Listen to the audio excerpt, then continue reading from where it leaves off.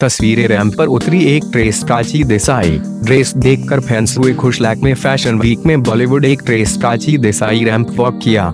इस दौरान वो काफ़ी अच्छी लग रही थी। जब प्राची रैंप वॉक कर रही थी, तब लोगों की नज़रें उन पर टिकी रह रहेगी एक ट्रेस प्राची देसाई ने साल 2008 में आई फ़िल्म रॉकॉन से बड़े पर्दे पर करियर शुरुआत की थी।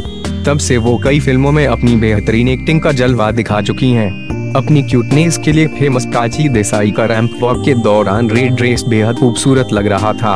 वहीं वॉक करते हुए प्राची के गले में एक हसीन नेकलेस भी नज़र आ रहा था।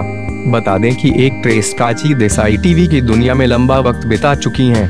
लखनऊ फ़ैशन वीक के अड़तीसवें एडिशन का आयोजन मुंबई में किया जा रहा है।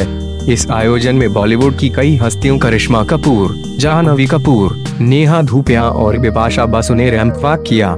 बता दें कि साल 2016 में आई बॉलीवुड फ़िल्म अजहर में आखिर बार एक ट्रेस प्राची देसाई को देखा गया था।